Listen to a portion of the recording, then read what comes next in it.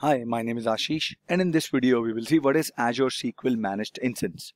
Well, Azure SQL Managed Instance is the intelligent scalable cloud database service that combines the SQL Server database engine comp compatibility with all the benefits of a fully managed and evergreen platform as a service.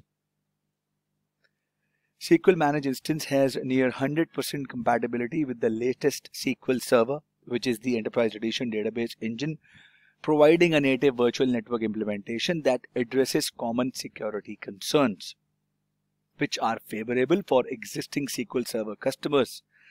SQL Server Managed Instance allows existing SQL Server customers to lift and shift their on-premise applications to the cloud with minimal application and database changes.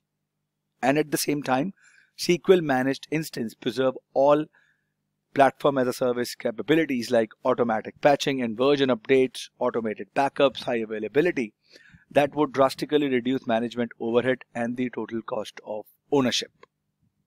And it has some features, you know, that and the capabilities that are available both in Azure SQL Database and the SQL Server Database Engine.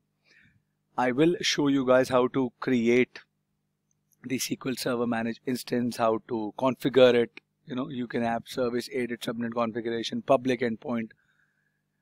Those stuff as well i will will show how to restore the sample database as well but i just wanted to cover an overview of theory of what sql managed instance is. So do not think that i'll just read the documentation and uh, would end this video in the upcoming videos.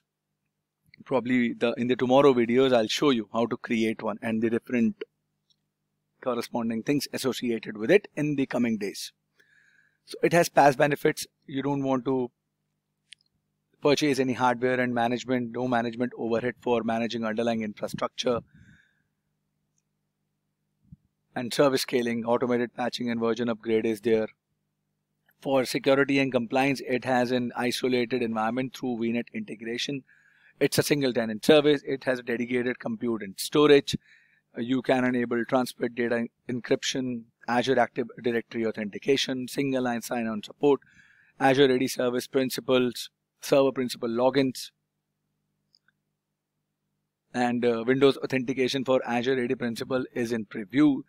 We can have SQL auditing, we can have advanced threat protection. Right, it has managed automated backups, it has a built-in instance and database monitoring and metrics. It has an automatic software patching, the latest database engine features. It's uh, through VNet I can with VNet I can do Azure Resource Manager deployment as well. And it comes with the vCore based purchasing model, right? So what is a vCore based purchasing model for SQL management instance? It will give us the flexibility, control, transparency and a straightforward way to translate the on-premise workload requirements to the cloud.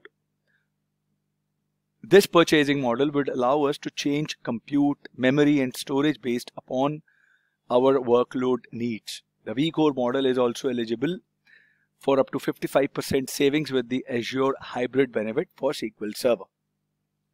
In the vCore model, we can choose between generations of hardware. You have standard series generation 5.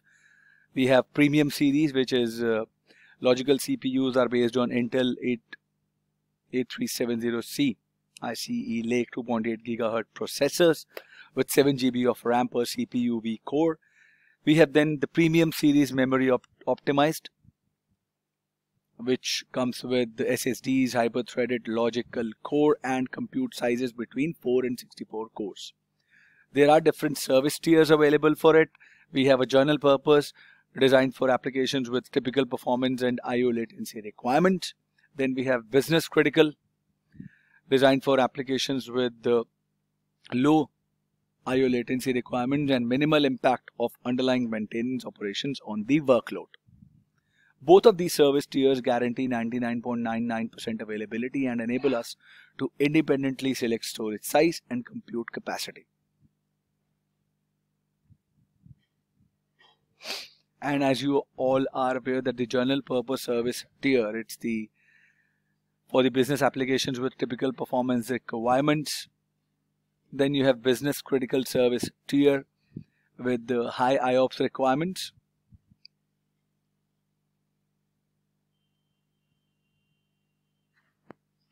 And when it comes to advanced security and compliance, we can achieve security isolation from other tenants on the Azure platform uh, through native virtual network implementation.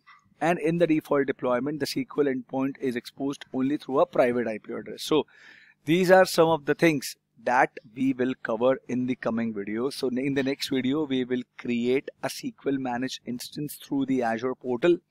And when I have when I'll have one, I'll create the uh, videos explaining the different things around the SQL management instance. Okay, I hope you had a good idea of what SQL management instance is.